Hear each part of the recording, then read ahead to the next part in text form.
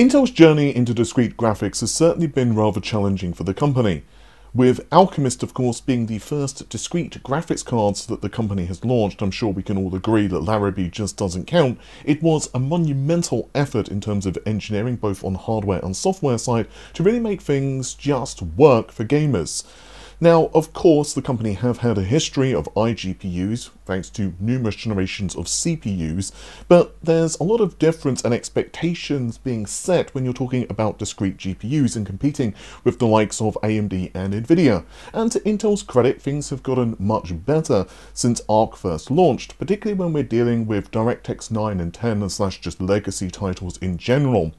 But as always, with AMD and Nvidia in particular right now, the focus is on the next generation of products, and of course with Intel that would be Battlemage. Now the good news is Battlemage has a lot of positives, but there's also some negative stuff that I want to talk to you guys as well about, and we're going to get into all of that plus more after this message from the video's sponsor. If you're running a copy of Windows 10 which isn't activated, of course, not only do you have to worry about the missing customization options, but there's also that annoying Windows desktop watermark reminding you to activate. Today's video is sponsored by WhoKeys.com, and they've an excellent price on Windows 10 Professional as well as Home Keys. Yeah, and they also of course sell games. I've bought a few Windows 10 keys with my own personal account to test everything was legit and worked in preparation for this sponsored video. You can pick up one of their keys for 25% off using the coupon code RGT in the checkout. There's links to their website in the video description. Also, if you're building a few systems, there's bundles available too. Again, you can check out whokeys.com and use the coupon code RGT for 25% off the listed Windows 10 key prices. So as a quick reminder, Intel themselves have gone on record and stated that Battlemage is coming on pretty well. In terms of the hardware, the actual GPUs are basically done right now, with all of the efforts essentially being on the software side of things. After all, they need to make sure that things are as good as possible for when they launch, well, we've seen how things went with the first generation of discrete cards, and I think that there's a much better chance that Intel will be in a pretty good position when Battlemage does launch. After all, at this point they've got a lot of expertise that they can really leverage, and just things have just worked out better in terms of the timelines. With that said, that means the hardware engineers are focused of course on Celestial, and as you probably know, that is the next generation of products after Battlemage. Now, I want you guys to cast your minds back to some of the specifications and performance targets that I have leaked previously for Battlemage. If you missed them, well, they're on screen right now.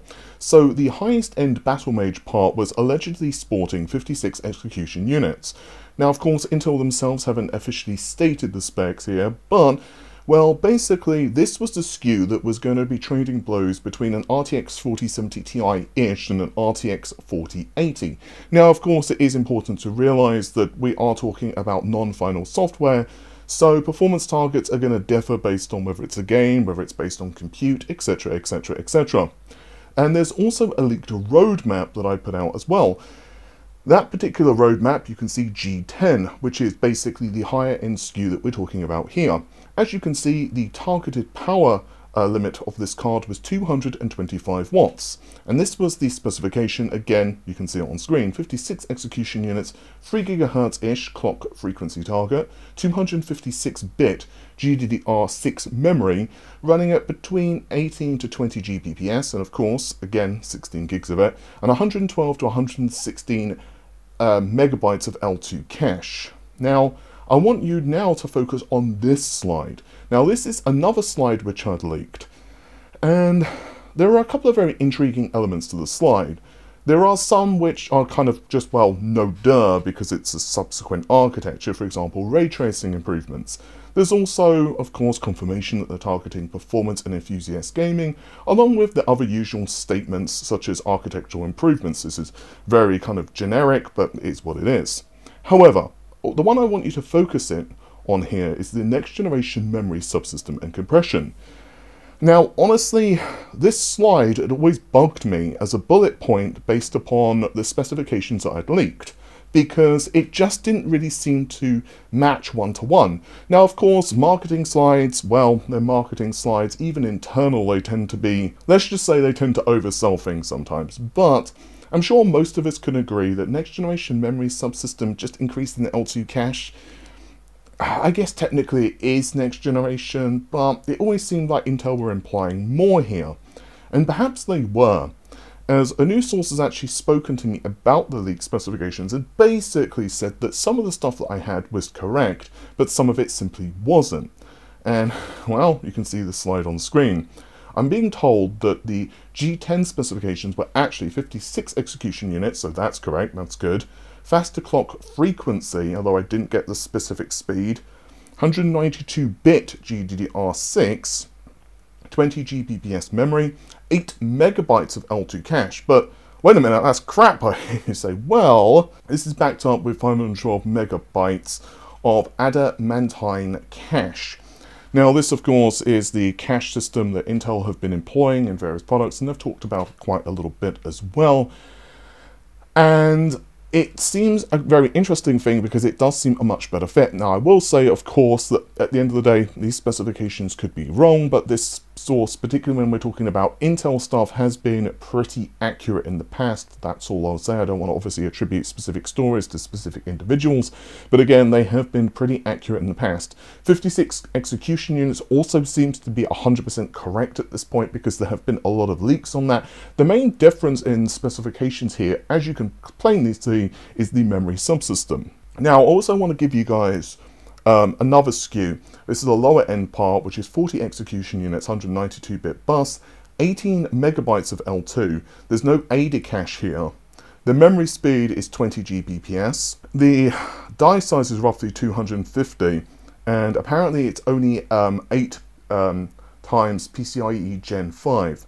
Now, this is where things start to get a little bit negative. I was basically told there's a very good chance, although it hasn't been determined yet, put that as a little asterisk we'll get into in just a second, that the 56 execution variant of this uh, product lineup is actually not going to be released. Now I want to be abundantly clear, this is not because of technical bring up issues. This is not because they're putting you know, the card into a PCIe slot and it's causing it to explode. It's not because of some unforeseen consequence or bug or driver issue or anything like that. It's actually, from what I can understand anyway, due to profit and margins.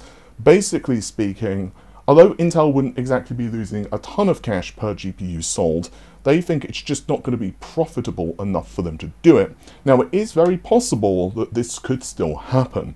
It seems that it's not been 100% determined within the company. Now again, this was the part, I just want to be abundantly clear here, the 56 execution unit part was the was the one that's going to be roughly on par between a 4070 Ti-ish and a 4080. I'm going to say for the sake of this video 4070 Ti. So that part just may not launch. Again, it is possible they may launch it in some type of low volume. It's possible that Intel will have a change of heart because, well, again, they can do that anytime. Maybe they'll release a lower end variant first and then later on they will release this Halo SKU, quote unquote, but as of the time I'm recording this, it seems that the sentiment within the company is just that they're not so certain how much cash it would make and whether it's worth that amount of effort. So, what about the products which will launch? Well, obviously, I don't need to tell you guys this because this is already official. We've seen Battlemage already in... Um, come on, brain, do the thing. I was about to say Arrow Lake, but that's based on the previous generation architecture uh, Lunar Lake. So basically, Lunar Lake has already been showing off uh, Battlemage, and the results are pretty interesting. So of course, that is a very good thing in terms of iGPUs, like laptops, that type of thing. Obviously, that is always a good thing, and the architecture itself does seem pretty interesting from what I can gather. It seems relatively power efficient, although, of course, at the end of the day, we're still talking about leaks, so mm. So the 40 execution unit variant is probably going to launch um, but I was also told of a higher end um, product. Now, this I was told about by one source in particular. However, one other source did tell me that there was an 80XE variant. However, quite frankly, I didn't actually believe that information at the time, but now there's other sources come out and told me that yes, Intel at one point were considering releasing an 80XE variant. However, that is not going to launch. I'm telling you about this just for interest's sake. I mean, I would love for them to launch it. However, I think there's literally less chance if I look out the window right now. No, I don't see a T-Rex sumo wrestling. No, I don't. I don't see that. So there was actually less chance of that happening than this particular event, which, as I said, just didn't happen. Unfortunately, I didn't get to see a T-Rex sumo wrestling. But yeah, being being you know serious for a second, the 80XE um, variant had been considered for a moment, but it just never ever saw the light of day. I don't actually know how far they got into the development of that, whether those were actually engineering samples that were ever produced, but they were considered at one point. It has the um, same amount of cached 512 as the um, 56 variant. However, the main difference here is that we're looking at 256-bit um, memory. So what does that mean? Well, it probably means that the um, 40 as well as the 56 will be capped out at 12 gigabytes of memory. Now, I actually don't mind that too much because I think 12 gigabytes is probably going to be okay for a card which is essentially targeting this level of performance. Um, so it's going to be very interesting.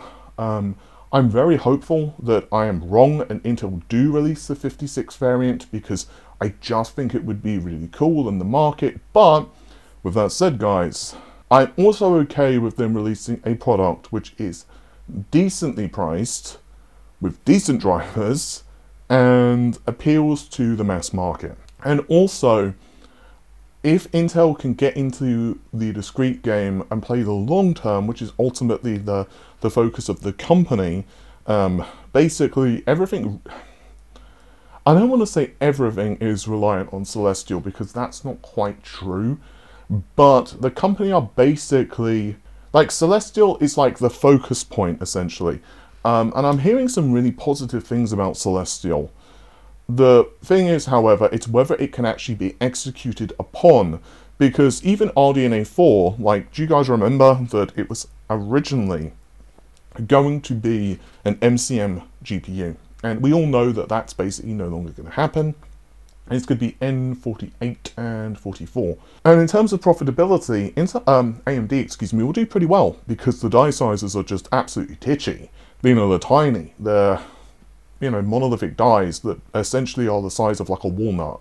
Um, but of course, that isn't going to be as high performance as a highly performant as the you know the N41 or even the 40 dies. Um, but they just couldn't get things kind of ready in time. And as far as I understand, there were some issues, uh, and basically the whole thing. It basically needed to be retaped. Um, and so because of that, they kind of ended up in this situation where that was going to increase the cost, especially because, again, it was a chiplet-based solution, and it would have delayed things more, and then at that point they just said, okay, well, let's just wait for RDNA 5. There were some other reasons as well, but the, the retape, it was kind of like, you know, like the straw in the camel's back, well, this is basically like putting a washing machine on the poor thing. Not, not a single straw, but literally just putting a washing machine on the, on the poor camel as well. So yeah, it was like, yeah, okay, screw it, we're done. Um, so anyway, I think that's just about it for this particular video. Hopefully you found it interesting. I am going to be hopeful with Intel because at the end of the day, um, I want as much competition in the GPU market as possible. This is not to say that I am not excited with, for example, Blackwell. As far as I understand, Blackwell is probably going to launch Q4 this year, so that's 2024, or Q1 next. I've heard conflicting things from different people. However, that seems to be what's going to happen. A number of folks are still telling me pretty much the same thing, that NVIDIA are going to basically release it in two waves. So Blackwell is going to launch, basically, let's just hypothetically say Q4. Um, I'm not saying this is the date, but let's just hypothetically say it's November. Um, and then Next year, when RDNA 5 is closer, there's going to be another variant of Blackwell. Um, to parrot what I already said in another video, it could be MCM, but it's probably more likely going to be a larger monolithic die, and it's going to be very interesting to see what happens, because RDNA 5, honestly, is looking really good. However, we said the same thing about RDNA 4, so yeah, we'll just, I, I, I'm, I, I guess I'm going to be cautious but optimistic with that. With that said, guys, take care of yourselves. Bye for now.